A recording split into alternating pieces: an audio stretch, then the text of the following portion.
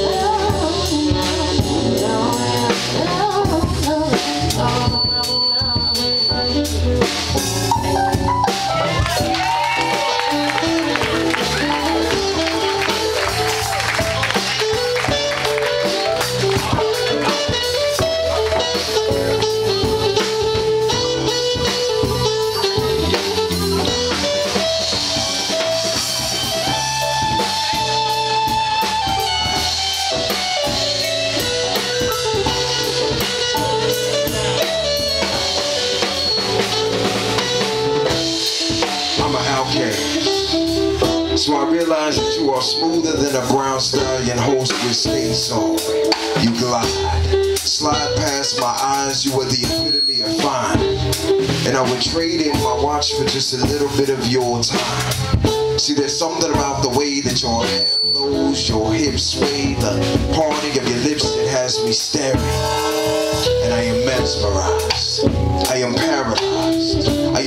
Frozen in this moment, so it should be easy for me to keep my cool. But instead, you got me standing outside looking like some kind of fool. In 98 degree weather, I got on a hoodie, some shorts, a scarf, thermal underwear, flip flops, and shoes. Confused as I view you. The real you that exists before Clinique, Mary Kay, Mac caress your complexion. Not that late nights BET remix, pushed up, pressed out version of you. See, I'm amazed by how stunning you are. In my dark skies, you are a brilliant star. So smooth as you move in those stilettos or those flat shoes. And I hope that you're the one.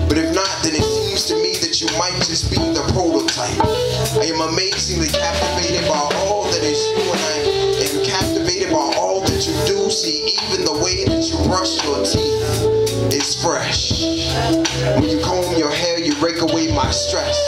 And you are so appealing, whether in a thong and a little dress or some of those granny panties and sweats. And I want to caress your innermost thoughts as well as your inner thigh. Placing strategic sensual kisses on your wrist. One of those places that most guys often miss or skip in their timing haste. See, their destination is below your waist.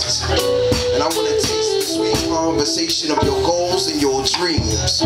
Witness the transition of a tickle's laughter into screams. See, I want to be able to pay all of your bills before you receive the notice of past due.